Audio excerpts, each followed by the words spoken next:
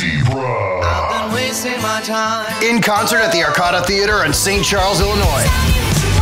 Saturday, April 8th, Zebra performed their 1983 debut album in its entirety in order for the first time, with special guest Donnie Vie from Enuff Z'Nuff. Get your tickets now for Zebra and Donnie Vie at oshows.com or the Arcada Theater box office.